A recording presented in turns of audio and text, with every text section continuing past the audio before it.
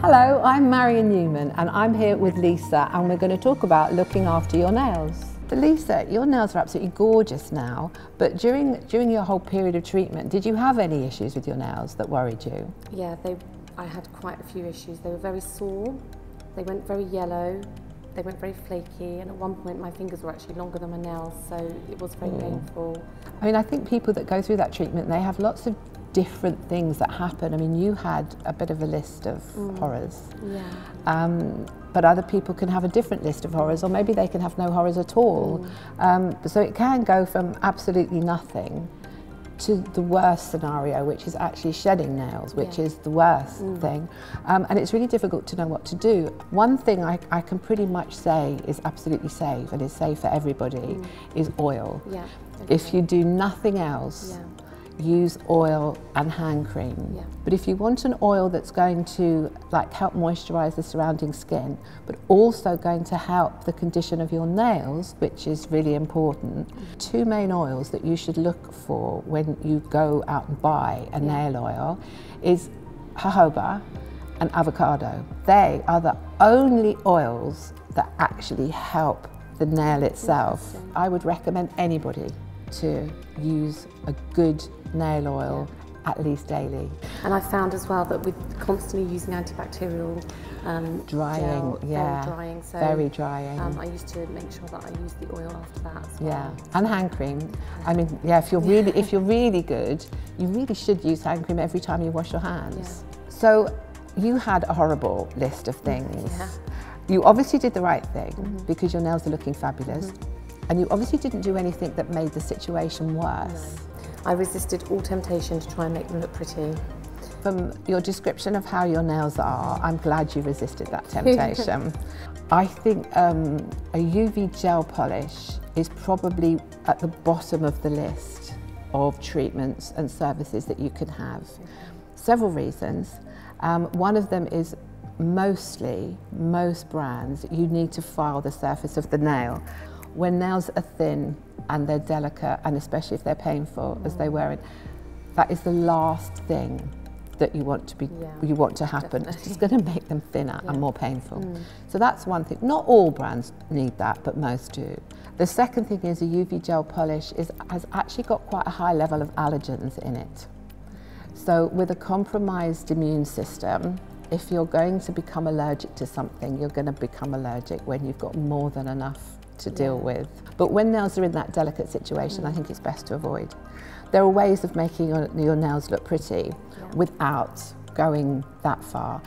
Plus there's the whole removal situation, both with gel polish and with enhancements, mm -hmm. means soaking in acetone. People aren't allergic to mm. acetone, mm. but acetone is so drying. With compromised skin, with dry skin, with thin skin, dryness is what you want to avoid all the time. Yeah. So although acetone itself isn't a problem, the effect of it on compromised skin and nails is really yeah. best avoided for a while. I have actually been considering um, going and having a treatment, but I'm just really confused as to you know what would be the best treatment and what, what sort of salon I should really be looking to go to. Well, the condition of your nails now are pretty perfect mm. actually. So you could probably have any treatment you fancy, there's the problem, where do you go? So first of all, I would say um, avoid the discount salons. Okay. And by discount, I mean they, they charge such a small amount for treatments. There's a reason that it's cheap. You know, you do on the whole get what you pay for. So mm. avoid the discount salons that say, for example, if you were looking to have a gel polish, you see some places that charge £10 maybe. Yeah. That's not that's a discount salon. They can't possibly have everything in place uh, for a good, safe treatment. Mm -hmm. You know, the, the products might be a bit of a problem. They might not have suitable hygiene uh, procedures in place. So avoid the discount okay. salons. Mm -hmm. Go to a salon, first of all, looks the part, that mm -hmm. looks very smart. And when you go in, it's good to see certificates on the wall. Okay. It's also very good to see a desk that is immaculately clean. And also, I think it is perfectly valuable and a very good thing to do is to ask what their hygiene system is. Okay. The highest level of hygiene in any salon actually, um, beauty or nails, is an autoclave.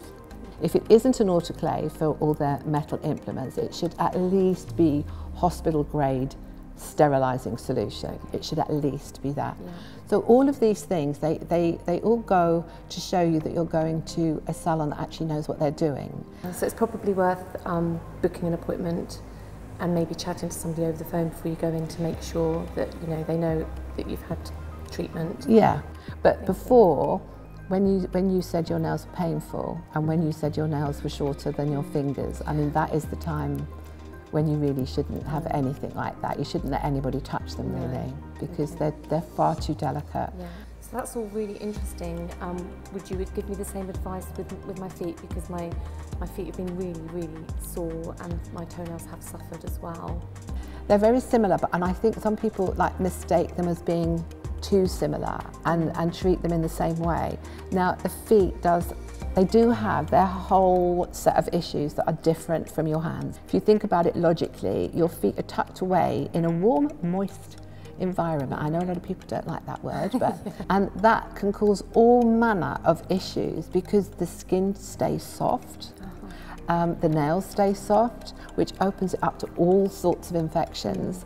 And the tiniest little cut or the tiniest little nick can set up another reaction, whether your immune system is compromised or not. Yeah. If there is anything at all that is wrong during your treatment with the skin on your feet or the nails, never go and have any treatment whatsoever in a nail salon. The only people that can look or touch your feet is a podiatrist. It must be in the medical sphere.